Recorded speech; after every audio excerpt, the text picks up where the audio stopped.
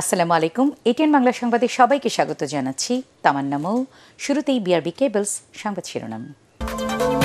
সরকারের পদত্যাগের এক দফা দাবিতে কাল সকাল থেকে বিকেল পর্যন্ত ঢাকার প্রবেশ মুখগুলোতে অবস্থান কর্মসূচির ঘোষণা বিএনপির।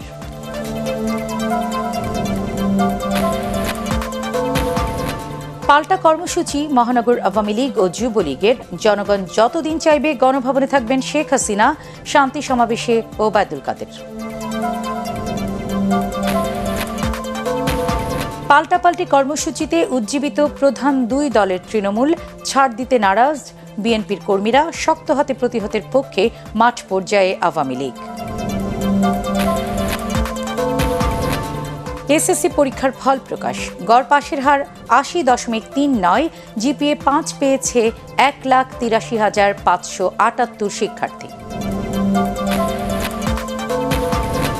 এবং জনগণের গণতান্ত্রিক অধিকার ও ন্যায় বিচার নিশ্চিত করতে আইনজীবীদের প্রতি আহ্বান প্রধানমন্ত্রীর।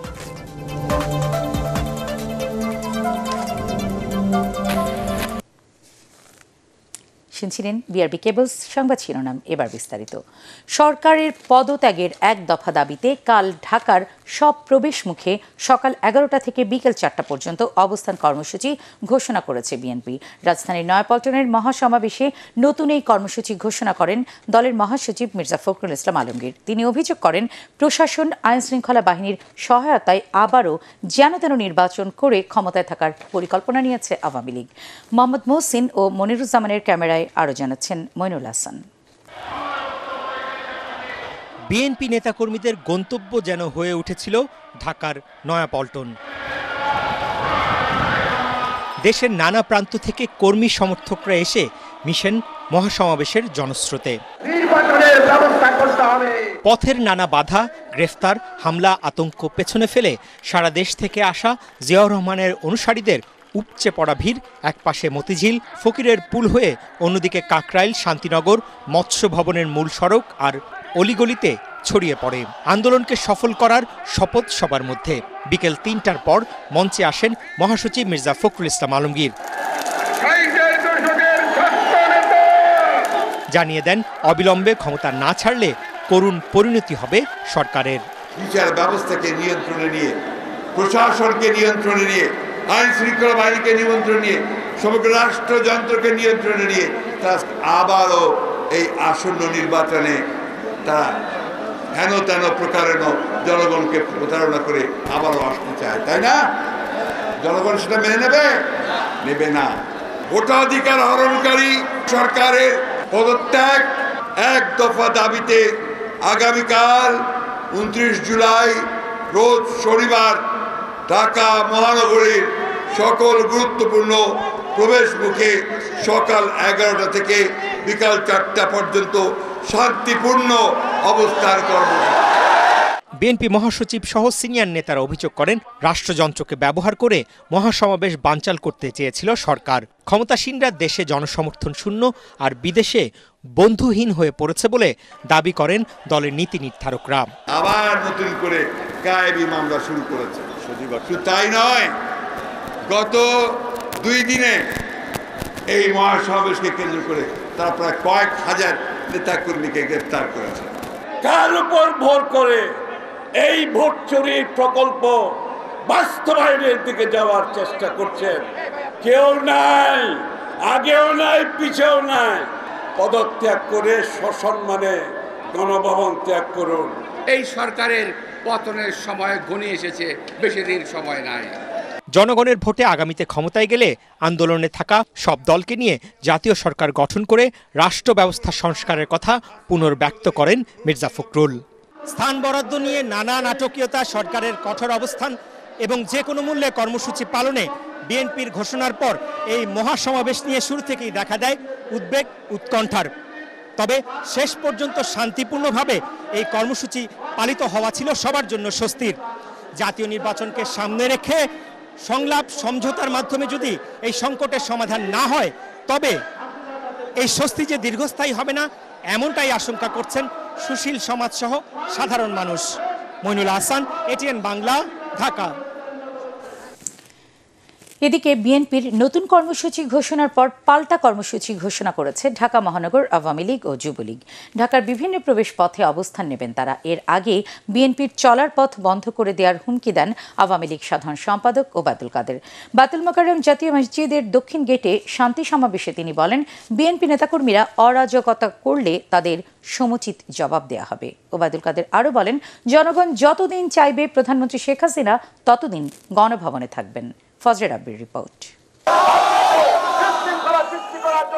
জুমার নামাজের পর রাজধানী ও দেশের বিভিন্ন জেলা থেকে মিছিল আসতে থাকে আওয়ামী লীগের সহযোগী তিন সংগঠনের সমাবেশে।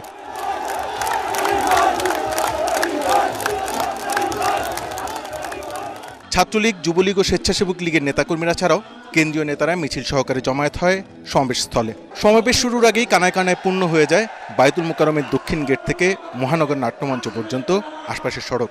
জিরো পয়েন্ট হয়ে সচিবালয়ের সামনের রাস্তা হয়ে ওঠে লোকে লোকারণ্য।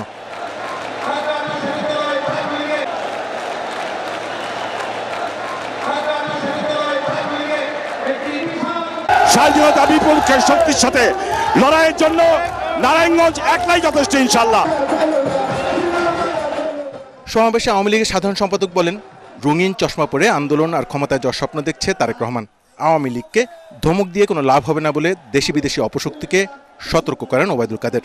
জাতিসংঘে যুক্তরাষ্ট্রের অ্যাম্বাসেডারের কাছে চিঠি লেখে, বাংলাদেশে জাতিসংঘের তত্ত্বাবধানে নির্বাচন করতে হবে। এ দুঃসাহস তারা পেল কোথায়? দেশি, বিদেশি, যারাই আজকে চোখ রাঙ্গাচ্ছে তাদের বলে দিতে চাই আমাদের শিকড় এ মাটির অনেক গভীরে। আমাদের চোখ রাঙিয়ে উৎখাত করা যায় না যাবে না। বিএনপির ভুয়া এক দফা দাবি নয়াপল্টনের কাদামাটিতে আটকে গেছে মন্তব্য করে ওবায়দুল কাদের বলেন সন্ত্রাস ও নৈরাজ্য প্রতিহত করতে মাঠে থাকবে নেতাকর্মীরা। লাফালাফি করবেন না।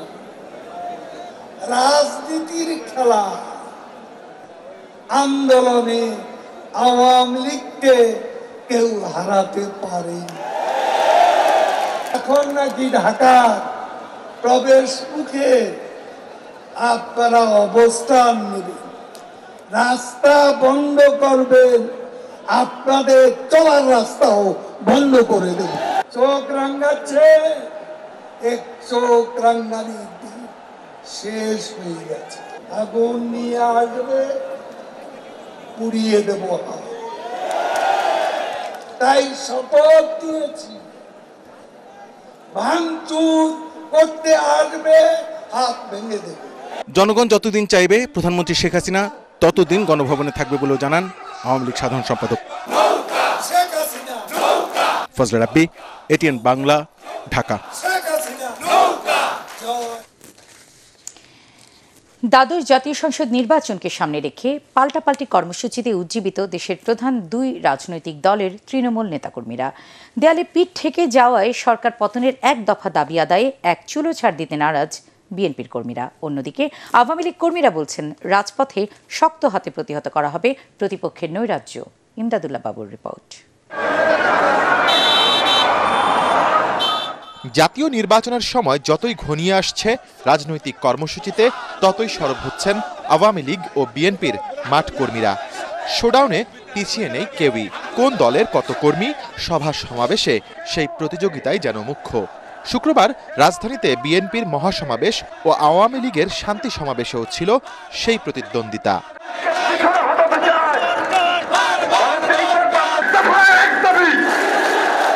বড় দলগুলোর এমন সভা সমাবেশে তৃণমূল কর্মীদের মধ্যে সঞ্চার করছে বাড়তি উচ্ছ্বাস। নতুন করে উজ্জীবিত তারা।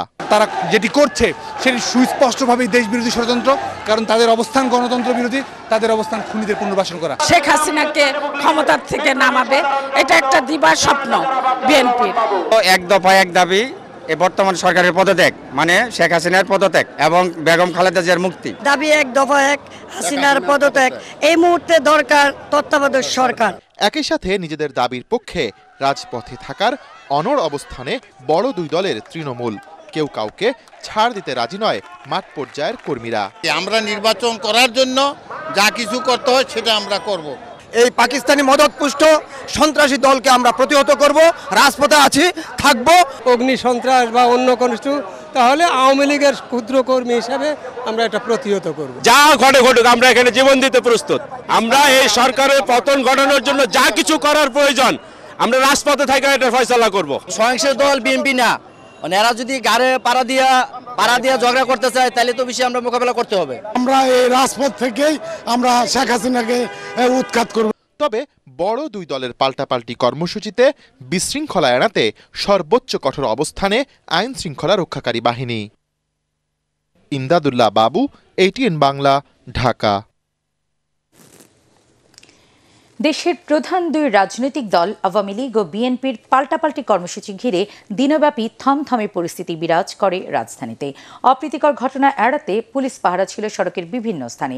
যানবাহন থামিয়ে তল্লাশি করা হয় নগরীর প্রবেশ পথগুলোতে। উৎকণ্ঠায় যানবাহন ও লোক চলাচল একেবারেই কম ছিল মহানগরী জুড়ে। আরও জানাচ্ছেন শফিকুল ইসলাম শামীম। একই দিন, একই সময়ে রাজধানীতে আওয়ামী লীগ ও বিএনপির এ কর্মসূচি ঘিরে গেল কয়েকদিন ধরেই চলছে চাপা উত্তেজনা। নানা আশঙ্কা ভর করেছে সাধারণ নগরবাসীর মনে। তাই ছুটির দিন হলেও ঘর থেকে বের হননি অনেকে।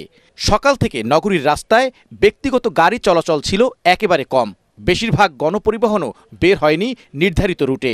জরুরি কাজে যারা বের হয়েছিলেন, যানবাহন সংকটে তারাও পড়েন ভোগান্তিতে। আমার খুব জরুরি দরকার। এর জন্য যাচ্ছি কিন্তু আমরা যে গাড়ি ব্যবহার করি সবসময় ওটা পাচ্ছি না। এর জন্য হাইটা সামনে গিয়া দেখি গাড়ি পাই কিনা। কষ্ট হইতেছে এটি স্বাভাবিক। জনের পাল্টাপাল্টি সমাবেশের জন্য আমরা সাধারণ জনগণের কষ্ট। আমরা অনেক টাকা মাল কিনছি আজকে মনে করেন আজকে অনেক লসের মধ্যে আমরা আছি। আতঙ্ক বিরাজ করতেছে তো দুনো দল তো এই অবস্থা। কাস্টমার বাড়তে আছে না এই জন্য মনে করে কাস্টমার আসতেছে না। পাল্টাপাল্টি প্রোগ্রাম বা একে অপরকে এই জাতীয় বিষয়ের উপরে হ্যাঁ, আতঙ্কিত রাখা, যার জন্যই দেখা গেছে সাধারণ মানুষ এই বিষয়গুলোকে চিন্তা করে ভয় পায় রাস্তাঘাটে নামতে। রাস্তায় যানবাহন না পেয়ে দুই দলের কর্মী সমর্থকদের অনেকেই পায়ে হেঁটে রওনা হন সমাবেশ স্থলের দিকে। আমিনবাজার টঙ্গী, যাত্রাবাড়ি সহ রাজধানীর প্রবেশ পথগুলোতে ছিল বাড়তি পাহারা। ব্যক্তিগত গাড়ি এবং গণপরিবহন থামিয়ে এসব স্থানে চালানো হয় কঠোর তল্লাশি। রাজধানীর সমাবেশগুলোতে যাতে কেউ নাশকতা করতে না পারে সেজন্যই এমন ব্যবস্থা বলে জানান পুলিশ কর্মকর্তারা। নাশকতা যেন মূলক কাজ না হয় কেউ যেন অবৈধ কিছু নিয়ে প্রবেশ করতে না পারে মূলত এই দিকগুলি বিবেচনা করতে এবং যানবাহন যেন স্মুথলি চলতে পারে। দুপুরের পর থেকে ফার্মগেট কারওয়ান বাজার শাহবাগ সহ রাজধানীর ব্যস্ততম এলাকাগুলো আরও ফাঁকা হয়ে যায়। নয়াপল্টন ও বায়তুল মোকাররম অভিমুখের প্রায় সব সড়ক ব্যারিকেড দিয়ে বন্ধ করে দেয়া হয়। বড় দুই দলের রাজনৈতিক সমাবেশকে কেন্দ্র করে সকাল থেকে গণপরিবহনের সংখ্যা ছিল একেবারেই কম। বেলা বাড়ার সাথে সাথে গণপরিবহন একেবারেই কমে যায়। আর সড়কে ব্যক্তিগত গাড়ির সংখ্যাও কম ছিল। তাই অনেকেই পায়ে হেঁটে যার যার গন্তব্যে রওনা হন। শফিকুল ইসলাম শামীম, এটিএন বাংলা, ঢাকা। চট্টগ্রামের আগ্রাবাদের শেখ মুজিব রোডে জামাত শিবির কর্মীদের সঙ্গে সংঘর্ষে পুলিশ সহ বেশ কয়েকজন আহত হয়েছেন। ভাঙচুর করা হয়েছে পুলিশের একটি গাড়ি। পরে বারো জনকে আটক করা হয়। তত্ত্বাবধায়ক সরকার পুনঃপ্রতিষ্ঠা। দলের আমিরের মুক্তি সহ বেশ কিছু দাবিতে জুমার নামাজ শেষে জামাত শিবিরের কয়েকশো নেতাকর্মী বাদামতল মোড় এলাকা থেকে মিছিল শুরু করে। যা চৌমনি মোড় এলাকায় শেষ হয়। সেখানে সংক্ষিপ্ত সমাবেশে জামায়াত নেতারা বক্তব্য রাখেন। ফেরার পথে জামায়াত শিবির কর্মীদের সঙ্গে পুলিশের সংঘর্ষ বাধে। এবারের এসএসসি ও সমমান পরীক্ষায় দেশের এগারোটি শিক্ষা বোর্ডে গড় পাশের হার আশি দশমিক তিন নয় শতাংশ। রাজধানীর সেগুনবাগিচায় আন্তর্জাতিক মাতৃভাষা ইনস্টিটিউটে ফলাফল প্রকাশ নিয়ে সংবাদ সম্মেলনে শিক্ষামন্ত্রী ডাক্তার দীপু মনি জানান, গত বছরের তুলনায় এবছর পাশের হার কমেছে সাত শতাংশ। পাশ করেছে ষোলো লাখ একচল্লিশ হাজার একশো চল্লিশ জন শিক্ষার্থী। এর মধ্যে সাত লাখ ছিয়ানব্বই হাজার চারশো চার জন ছাত্র এবং আট লাখ চুয়াল্লিশ হাজার সাতশো ছত্রিশ জন ছাত্রী। শিক্ষামন্ত্রী জানান, জিপিএ পাঁচ পেয়েছে মোট এক লাখ তিরাশি হাজার পাঁচশো আটাত্তর শিক্ষার্থী। তাদের মধ্যে চুরাশি হাজার নশো চৌষট্টি জন ছাত্র এবং আটানব্বই হাজার ছশো চোদ্দ জন ছাত্রী। গত বছরের মতো এবারও মেয়েরা জিপিএ পাঁচ বেশি পেয়েছে। সর্বমোট পাশের হার হচ্ছে আশি দশমিক তিন নয়। জিপিএ পাঁচ ছাত্রেরা পেয়েছেন চুরাশি হাজার নশো চৌষট্টি জন এবং ছাত্রীরা পেয়েছেন আটানব্বই হাজার ছশো চোদ্দ জন অর্থাৎ মোট এক লক্ষ তিরাশি হাজার পাঁচশো আটাত্তর জন জিপিএ পাঁচ পেয়েছেন। এছাড়া পরীক্ষায় কৃতকার্য সকল পরীক্ষার্থী ও তাদের অভিভাবকবৃন্দকে অভিনন্দন। যারা উত্তীর্ণ হতে পারেনি তাদের হতাশ হওয়ার আহ, কারণ নেই। আমি আশা করব যে তারা নব উদ্যমে পূর্ণ প্রস্তুতিতে আগামীতে পরীক্ষা দিয়ে নিশ্চয়ই সফলকাম হবে ইনশাআল্লাহ। এবার বিকাশ এসএসসি রেজাল্ট।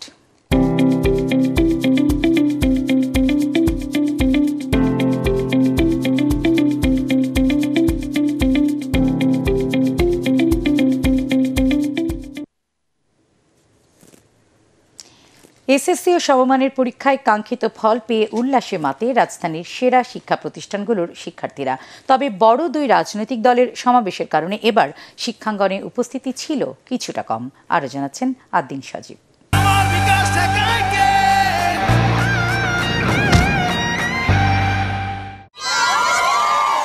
এ আনন্দের যেন ভাষা নেই এসএসসির ফল রঙিন করেছে ওদের দিনটি। সুন্দর আগামীর কামনায় প্রি স্কুল আঙিনায় বাঁধ ভাঙা উচ্ছ্বাসে মেতেছে তারা।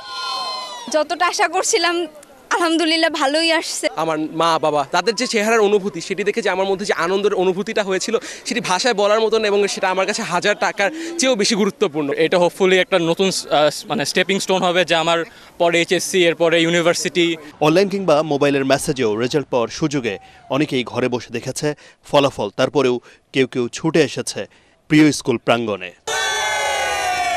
আলহামদুলিল্লাহ to Allah and thank you to everybody who help me সামনেও আমাদের বড় একটা ধাপ জীবনের এই এক ধাপ পার হলাম স্কুল জীবন শেষ। ফলাফল প্রকাশের দিনই দেশের বড় দুই রাজনৈতিক দলের সমাবেশ রাজধানীতে তার উপর ছুটির দিন। পরিস্থিতির কারণেই অনেক শিক্ষা প্রতিষ্ঠান তাদের শিক্ষার্থীদের স্কুলে যেতে অনুৎসাহিত করে। তাই বরাবরের মতো ভিড় ছিল না এবার। স্কুল বন্ধ ছিল প্রায় এক বছরই প্রথমত করোনার কারণে আমাদের বাসায় বসে জম কিন্তু তা আমি মনে করেন খুশি আছি যে সবাই এ পর্যায়ে আসতে পারছে। ইঞ্জিনিয়ারিং এ পড়া বুয়েটে পড়ার ইচ্ছা। প্রত্যেক বাবা মারই প্রত্যাশা থাকে তার সন্তান অনেক ভালো কিছু করবে। যে মানুষ হিসেবে কতটুকু ভালো এটাই আমাদের আসলে চাওয়া। তাদের সাফল্য এই তো সব বাবা মার গর্ব। উচ্চশিক্ষার প্রথম সিঁড়ি সফলভাবে পেরিয়ে এখন তাদের লক্ষ্য স্বপ্ন পূরণের দিকে এগিয়ে যাওয়া।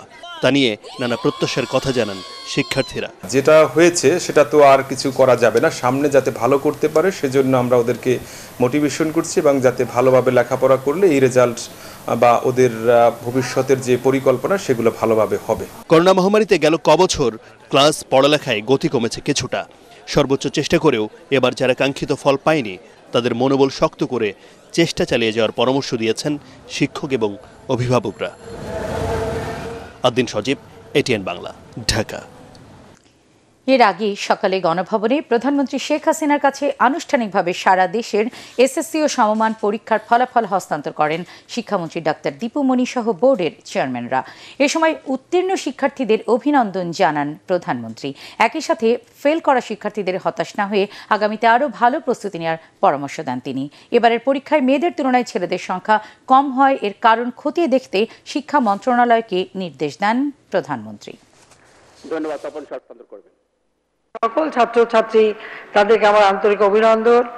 আবারও আমি বলছি যে যারা কৃতকার্য হতে পারেনি, মনে দুঃখ নেওয়ার কোনো কিছু নেই। একটু মনোযোগ দিয়ে পড়াশোনা করলে সবাই মেধাবী। তারা আবার ভালো রেজাল্ট করতে পারবে। আর আমি অভিভাবকদের বলব, ছেলেমেয়েরা ফেল করেছে বলে কিন্তু বকাবকি করবেন না কখনো। বরং তাদেরও মনে কষ্ট হচ্ছে কাজে তাদেরকে আরও আদর দিয়ে, ভালোবাসা দিয়ে তারা যাতে পড়াশোনায় মনোনিবেশ করে, আমাদের অভিভাবক বৃন্দ দয়া করে সেই পথেই যাবেন। অযথা অমুকের ছেলে এই ভালো রেজাল্ট করল, আর তুমি পারলে না কেন, এই তুলনাটা যেন না করেন। এটা করা ঠিক না। সবার সব রকম মেধা থাকে না, সবার সব রকম সেই চিন্তা ভাবনায় শক্তি থাকে না। যার যেটা দক্ষতা সে সেই অনুযায়ী পড়বে এবং যতটুকু সম্ভব তাদেরকে সহযোগিতা করা উচিত। জনগণের গণতান্ত্রিক অধিকার ও ন্যায় বিচার নিশ্চিত করতে আইনজীবীদের প্রতি আহ্বান জানিয়েছেন প্রধানমন্ত্রী শেখ হাসিনা। সুপ্রিম কোর্ট প্রাঙ্গণে স্মৃতি চিরঞ্জীব স্মারক শুধু উদ্বোধন করে তিনি বলেন বিচার বিভাগের স্বাধীনতা নিশ্চিত হয় সবার মাঝে বেড়েছে আত্মবিশ্বাস। আপিল মাহমুদের রিপোর্ট। সুপ্রিম কোর্ট প্রাঙ্গণে জাতির পিতা বঙ্গবন্ধু শেখ মুজিবুর রহমানের স্মৃতিকে ধরে রাখতে নির্মাণ করা হয়েছে স্মৃতি চিরঞ্জীব স্মারক সৌধ। দেশের সর্বোচ্চ উচ্চ আদালতের সুবর্ণ জয়ন্তীর অনুষ্ঠানে অংশ নিয়ে স্মারক সৌধের উদ্বোধন করেন প্রধানমন্ত্রী শেখ হাসিনা। স্মার্ট বিচার ব্যবস্থা গড়ে তুলতে সরকারের পরিকল্পনা তুলে ধরে প্রধানমন্ত্রী বলেন, সঠিক পদক্ষেপের কারণে মামলা জট কমানো সম্ভব হচ্ছে। অবৈধভাবে কেউ যেন ক্ষমতা দখল করতে না পারে, সেজন্য উচ্চ আদালতের রায়ে সন্তোষ প্রকাশ করেন তিনি।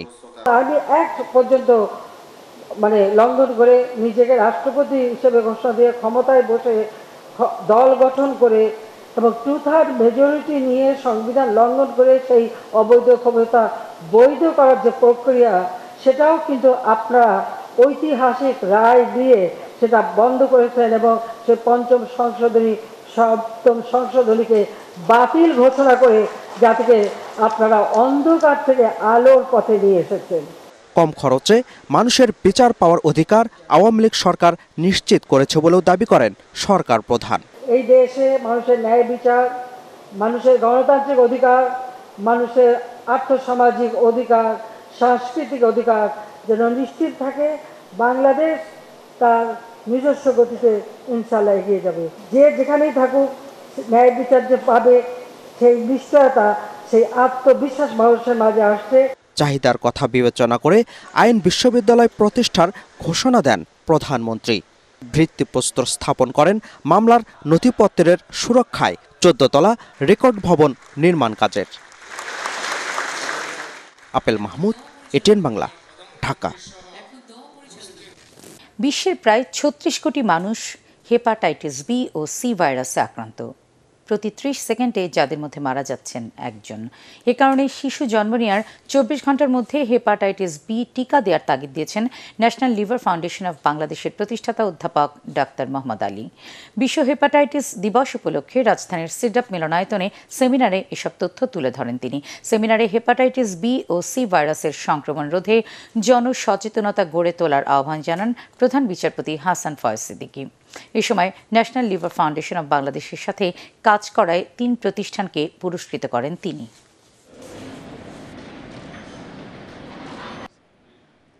সংক্রামক রোগ প্রতিরোধ নিরন্তর নির্মূল আইন দুই হাজার আঠারোর চার ধারায় ভাইরাল হেপাটাইটিসকে সংক্রামক রোগ হিসেবে অন্তর্ভুক্ত করা হয়েছে। এই আইনের পাঁচ ধারায় ভাইরাল হেপাটাইটিস সহ টিকার মাধ্যমে প্রতিরোধযোগ্য যোগ্য রোগসমূহ নিয়ন্ত্রণে স্বাস্থ্য অধিদপ্তরের সুনির্দিষ্ট দায়িত্ব কর্তব্য স্থির করা হয়েছে। আমরা বিভিন্ন সময়ে বিভিন্ন জেলায় ডিস্ট্রিক্ট হেডকোয়ার্টারে আমরা ক্যাম্পেইন করি। এরই মধ্যে আমরা গাজীপুরে ভ্যাকসিন দিলাম সেটা মিলিয়ে প্রায় সাত হাজার দুইশো এতিম শিশুদেরকে আমরা ভ্যাকসিনেট করেছি ফ্রি। আলা ইসলামী ব্যাংক অর্থ সংবাদ।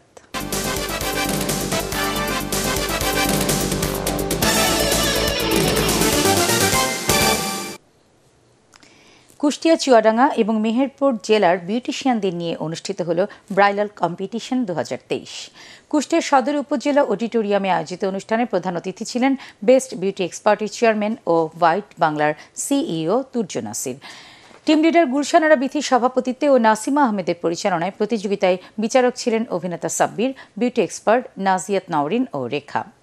ব্রাইডাল কম্পিটিশনে প্রথম স্থান অর্জন করেন চুয়াডাঙ্গার আফরোজা আক্তার দিবা। দ্বিতীয় ও তৃতীয় হয়েছেন যথাক্রমে কুষ্টিয়ার নাভিলা মাজান ও হাজিরা খাতুন সুমি। প্রতিযোগিতার মিডিয়া পার্টনার এটিএন বাংলা ও এটিএন নিউজ।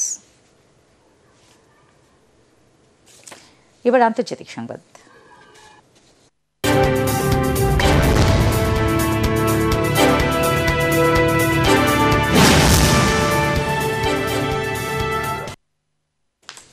স্কুলে স্মার্টফোন ব্যবহার নিষিদ্ধ করার প্রস্তাব করেছে জাতিসংঘ। এই প্রস্তাব দিয়েছে জাতিসংঘের শিক্ষা, বিজ্ঞান ও সংস্কৃতি বিষয়ক সংস্থা ইউনেস্কো।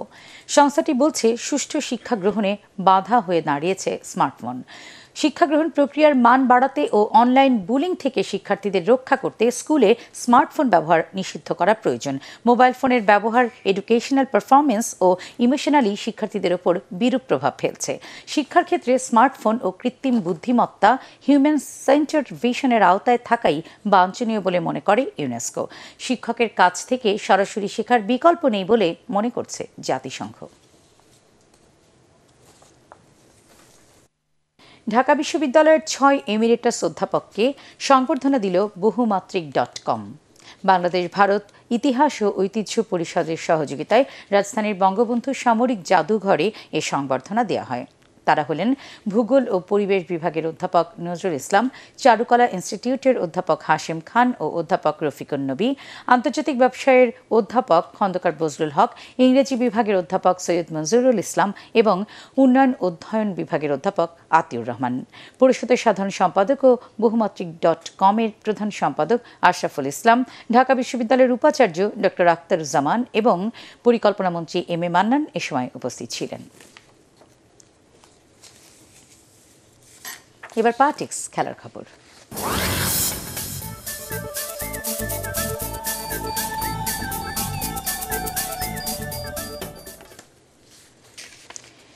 বাজে আচরণের জন্য হারমানপ্রীতের নিষেধাজ্ঞায় আপিল করবে না ভারতীয় ক্রিকেট বোর্ড বিসিসিআই। বাংলাদেশ সফরে অসদ আচরণের জন্য জিজ্ঞাসাবাদের মুখে পড়বেন সে দেশের নারী ক্রিকেট দলের এই অধিনায়ক। হারমানপ্রীতের বাজে আচরণের বিষয়ে জিজ্ঞাসাবাদ করবেন বিসিসিআই সভাপতি Roger Binny O head of cricket VVS Laxman. গত মঙ্গলবার ভারতীয় নারী ক্রিকেট দলের অধিনায়ককে দুই ম্যাচ নিষিদ্ধ করে আইসিসি। ম্যাচ ফের পঁচাত্তর শতাংশ জরিমানা ও তিনটি ডিমেরিট পয়েন্টও দেওয়া হয় তাকে। ফলে ভারতের হয়ে আসন্ন এশিয়ান গেমসে দুই ম্যাচ খেলতে পারছে না হারমানপ্রীত কৌর। নারী বিশ্বকাপে পিছিয়ে পড়েও দক্ষিণ আফ্রিকার সাথে দুই দুই গোলে ড্র করছে আর্জেন্টিনা। ড্যানেডিনে খেলার ত্রিশ মিনিটে লিন্ডা মতলহালোর গোলে এগিয়ে যায় দক্ষিণ আফ্রিকা। ছেষট্টি মিনিটে ব্যবধান দ্বিগুণ করেন থেম্বি কাগাল প্লানার দুই শূন্য গোলে এগিয়ে থেকেও জয় নিয়ে মাঠ ছাড়তে পারেনি দক্ষিণ আফ্রিকা। মাত্র পাঁচ মিনিটের ব্যবধানে সমতায় ফেরে আর্জেন্টিনা। চুয়াত্তর মিনিটে সোফিয়া ব্রাউন ও উনআশি মিনিটে গোল করেন রোমিনা নুনেজ। এই ড্রয়ে নকআউট পর্বের আশা বাঁচিয়ে রাখল আর্জেন্টিনা। দিনের অন্য ম্যাচে হাইতিকে এক শূন্য গোলে হারিয়েছে চীন।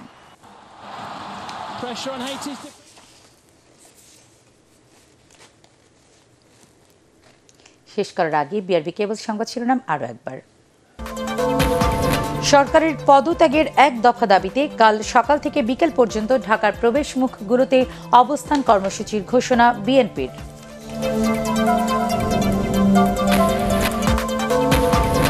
পাল্টা কর্মসূচি মহানগর আওয়াম লীগ ও যুবলীগের। জনগণ যতদিন চাইবে গণভবনে থাকবেন শেখ হাসিনা, শান্তি সমাবেশে ওবায়দুল কাদের।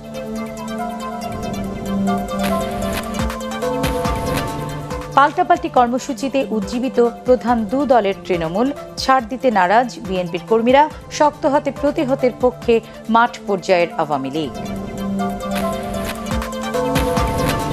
এসএসসি পরীক্ষার ফল প্রকাশ। গড় পাশের হার আশি দশমিক তিন নয়, জিপিএ পাঁচ পেয়েছে এক লাখ তিরাশি হাজার পাঁচশো আটাত্তর শিক্ষার্থী।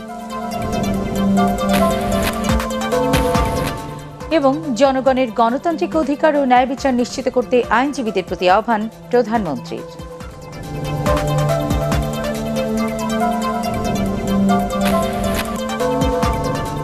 পরবর্তী সংবাদ দেখার আমন্ত্রণ জানিয়ে এখনকার মতো শেষ করছি। এটিএন বাংলা সংবাদ। ইউটিউবে দেখতে ব্রাউজ করুন YouTube slash ATN Bangla news আল্লাহ হাফেজ।